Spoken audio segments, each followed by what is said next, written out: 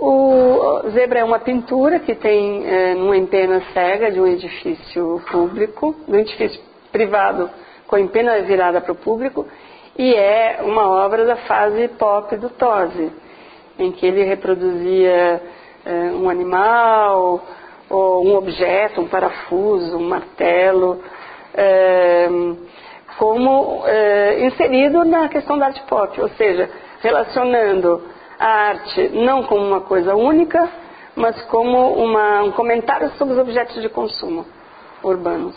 Então, o que é um parafuso? Por que, um parafuso é uma obra de arte? Por que, uma zebra é uma obra de arte?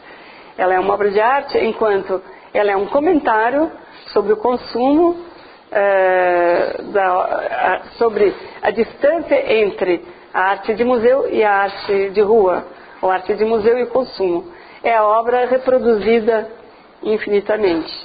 É a obra que não é mais uma obra única de museu, mas é uma peça é, que qualquer coisa, na verdade, pode ser uma obra de arte, até uma zebra.